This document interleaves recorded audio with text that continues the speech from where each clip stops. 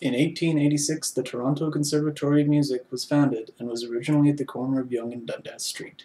In 1947, King George VI awarded the conservatory its royal charter, thus the Toronto Conservatory of Music became the Royal Conservatory of Music.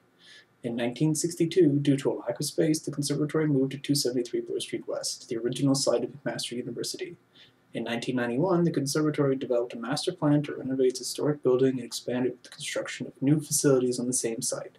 The plan was carried out by KPMB architects in stages and was completed in 2005. The designation of this site as a heritage building required the majority of the original materials, decorative red brick, Medina sandstone, and polished granite, as well as its wood staircase, be maintained, while complying with the building code.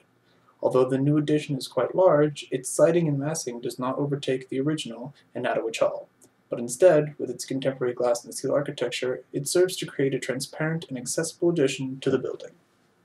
The Acropolis Museum was designed by architect Bernard Tschumi in collaboration with Michalis Photiadis and Associate Architects. It opened its doors only 300 meters southeast of the Parthenon with an exhibition space of 1,400 square meters. The first floor is a glass-floored gallery that reveals ancient remains that were excavated during the building's construction. The second floor contains a gallery of archaic and early classical statues. The choice of display caused curatorial dispute as the visitors might miss many important statues of the time.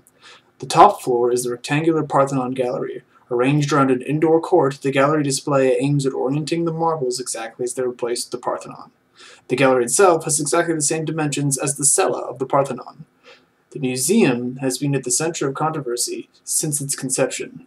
Neighbors have been complaining, values of surrounding houses have been raised, pros and cons have been expressed by curators and architects both on the museum design and the connection of the building to the general urban architecture.